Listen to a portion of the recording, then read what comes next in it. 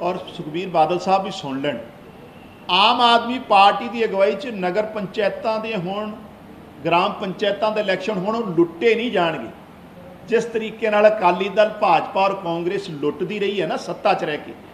ਇਹ ਜਿਹੜੇ ਇਲੈਕਸ਼ਨ ਹੈ, ਪਾਰਦਰਸ਼ੀ ਤਰੀਕੇ ਨਾਲ, ਰੂਲ ਆਫ ਲਾਅ ਦੇ ਹਿਸਾਬ ਨਾਲ ਔਰ ਆਜ਼ਾਦ ਲੋਕਾਂ ਨੂੰ ਆਜ਼ਾਦੀ ਦਿੱਤੀ ਜਾਊਗੀ, ਆਪਣੀ ਮਰਜ਼ੀ ਨਾਲ ਆਪਣੇ ਨੁਮਾਇੰਦੇ ਚੁਣ। ਕਿਉਂਕਿ ਮਾਨ ਸਾਹਿਬ ਔਰ ਆਮ ਆਦਮੀ ਪਾਰਟੀ ਦੀ ਇਹ ਸੋਚ ਹੈ ਕਿ ਸਾਡਾ ਪੰਚਾਇਤੀ ਰਾਜ ਜਿਹੜਾ ਮਜ਼ਬੂਤ ਹੋਣਾ ਚਾਹੀਦਾ, ਗੁਲਾਮ ਨਹੀਂ ਹੋਣੇ ਚਾਹੀਦੇ। ਪਰਚਾ ਕਲਚਰ ਇਸੇ ਕਰਕੇ ਮਾਨ ਸਾਹਿਬ ਦੀ ਸਰਕਾਰ ਨੇ ਖਤਮ ਕੀਤਾ ਹੈ, ਜਿਹੜੀ ਦੇਣ ਜਿਹੜੀ ਆ ਸੁਖਵੀਰ ਸਿੰਘ ਬਾਦਲ ਦੀ ਸੀ।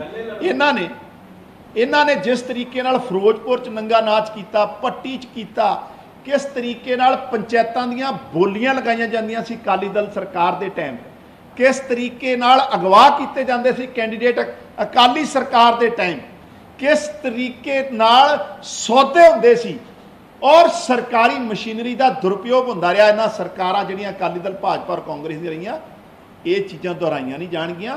ਪੂਰੀ ਟਰਾਂਸਪੇਰੈਂਸੀ ਨਾਲ ਰੂਲ ਆਫ ਲਾਅ ਦੇ ਹਿਸਾਬ ਨਾਲ ਲੋਕਾਂ ਨੂੰ ਆਪਣੇ ਨੁਮਾਇੰਦੇ ਚੁਣਨ ਦਾ ਅਧਿਕਾਰ ਹੋਊਗਾ ਔਰ ਬਹੁਤ ਫੇਅਰਲੀ ਸਾਫ਼ ਸੁਥਰੇ ਤਰੀਕੇ ਨਾਲ ਇਲੈਕਸ਼ਨ ਹੋਣਗੇ। ਔਰ ਪੰਜਾਬ 'ਚ ਪਹਿਲੀ ਵਾਰ ਇਸ ਤਰੀਕੇ ਨਾਲ ਵਿਦਆਊਟ ਪੋਲੀਟੀਕਲ ਇੰਟਰਫੇਰੈਂਸ ਜਿਹੜੀ ਸਰਕਾਰ ਸੱਤਾ 'ਚ ਹੈ ਜਿਹੜੀ ਪਾਰਟੀ ਉਹਦੀ ਵਿਦਆਊਟ ਇੰਟਰਫੇਰੈਂਸ ਤੋਂ ਇਹ ਇਲੈਕਸ਼ਨ ਇਸ ਵਾਰ ਕੰਡਕਟ ਔਰ ਸਿੰਬਲ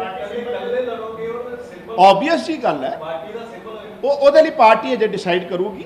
ਉਹਦੇ ਲਈ ਪਾਰਟੀ 'ਚ ਕੰਸੀਡਰੇਸ਼ਨ ਚੱਲ ਰਹੀ ਹੈ ਕਿ ਪਾਰਟੀ ਸਿੰਬਲ ਤੇ ਲੜਨਾ ਹੈ ਕਿ ਲੋਕਾਂ ਨੂੰ। ਲੇਕਿਨ ਇਲੈਕਸ਼ਨ ਬਹੁਤ ਫੇਅਰਲੀ ਤੇ ਬੜੀ ਇੰਡੀਪੈਂਡੈਂਟ ਤਰੀਕੇ ਇਹਦੇ ਨਾਲ? ਨਹੀਂ ਨਹੀਂ ਕੋਈ ਸਵਾਲ ਹੀ ਪੈਦਾ ਨਹੀਂ। ਕੋਈ ਸਵਾਲ ਨਹੀਂ। ਕੰਟਾ ਵਿੱਚ ਹੋਰ ਅ, ਰਾਹੁਲ ਗਾਂਧੀ ਨੂੰ ਅੱਜ ਬੜੀ ਵੱਡੀ ਰਾਹਤ ਮਿਲੀ ਹੈ ਸੁਪਰੀਮ ਕੋਰਟ ਤੋਂ। ਉਹਨੂੰ ਕਿਵੇਂ ਦੇਖਦੇ ਦੇਖੋ ਇਹ ਤੇ ਬੜੀ ਆਬਵੀਅਸ ਜੀ ਗੱਲ ਹੈ ਕਿ ਰਾਹੁਲ ਗਾਂਧੀ ਜੀ ਬੇਸ਼ੱਕ ਸਾਡੇ ਆਪੋਜੀਸ਼ਨ ਚ ਹੈ, ਬੇਸ਼ੱਕ ਕਾਂਗਰਸ ਦੇ ਲੀਡਰ ਹੈ, ਲੇਕਿਨ ਜਿਸ ਤਰੀਕੇ ਨਾਲ ਉਹਨਾਂ ਦੀ ਜਿਹੜੀ ਮੈਂਬਰਸ਼ਿਪ ਹੈ, ਬਤੌਰ ਮੈਂਬਰ ਪਾਰਲੀਮੈਂਟ ਉਹਨਾਂ ਨੂੰ ਮੋਦੀ ਸਾਹਿਬ ਦੀ ਸਰਕਾਰ ਨੇ ਰੱਦ ਕੀਤੀ ਆ, ਉਹ ਅਨਡੈਮੋਕ੍ਰੈਟਿਕ ਸੀ ਅਨਕਨਸਟੀਟਿਊਸ਼ਨਲ ਸੀ। ਔਰ ਆਮ ਆਦਮੀ ਪਾਰਟੀ ਦੇ ਸੁਪਰੀਮੋ ਅਰਵਿੰਦ ਕੇਜਰੀਵਾਲ ਜੀ ਨੇ ਉਸ ਟਾਈਮ ਵੀ ਇਹਦਾ ਵਿਰੋਧ ਕੀਤਾ ਸੀ।